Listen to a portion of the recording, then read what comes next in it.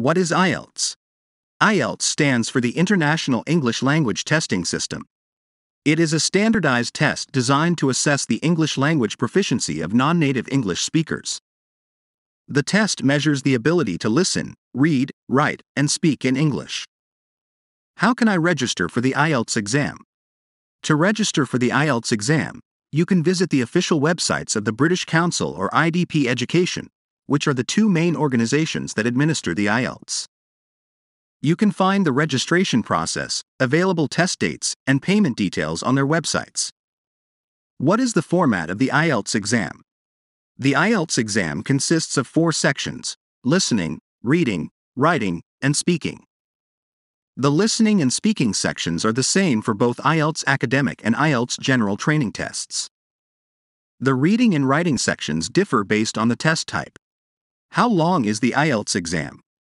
The total test duration for the IELTS exam is approximately 2 hours and 45 minutes.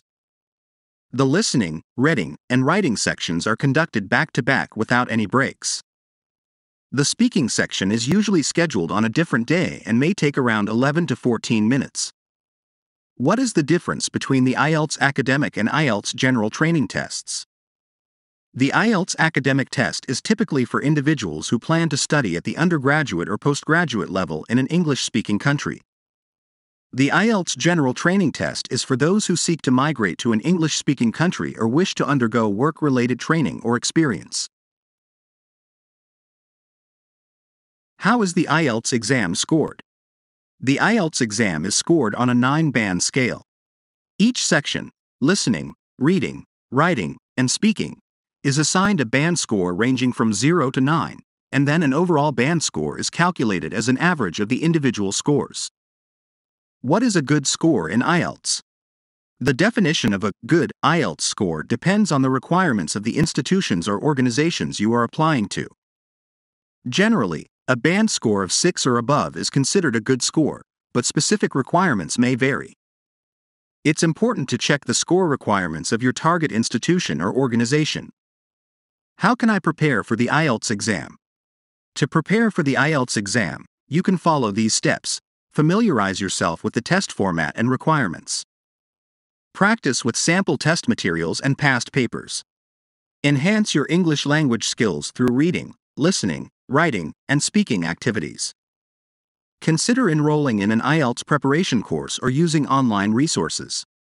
Practice time management and develop test taking strategies. Take mock tests to assess your progress and identify areas for improvement. What are the best resources for IELTS preparation?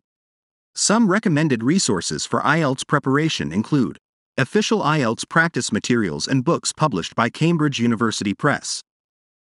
Online platforms such as IELTS.org, British Council, and IDP Education, which provide free practice materials and sample tests. IELTS preparation books and study guides from reputable publishers. Mobile apps that offer IELTS practice exercises and tips. Language exchange programs or conversation partners to practice speaking. Can I use a pen during the IELTS exam? No, you cannot use a pen during the IELTS exam. The writing section of the IELTS test must be done in pencil, while the other sections, listening, reading, and speaking, are completed using a pen or pencil. How many times can I take the IELTS test? There is no limit to the number of times you can take the IELTS test. You can take the test as many times as you wish. However, it is important to note that you need to wait for a minimum of 90 days between consecutive test dates. Can I retake only specific sections of the IELTS exam? No, you cannot retake specific sections of the IELTS exam. If you wish to improve your scores, you must retake the entire test. The scores from your most recent test attempt will be considered for evaluation. How long are IELTS scores valid? IELTS scores are generally valid for two years from the date of the test. After the expiration of two years, the scores are considered outdated and may not be accepted by institutions or organizations. It's essential to check the score validity requirements of the institution you are applying to. How can I send my IELTS scores to universities or institutions? You can request the official test report form, TRF, from the organization where you took the IELTS test. The TRF will be sent to you and up to five recognized institutions of your choice for free. Additional TRF copies can be requested for a fee. The TRF will be sent directly to the institutions or organizations you specified during the registration process. What is the difference between IELTS and TOEFL?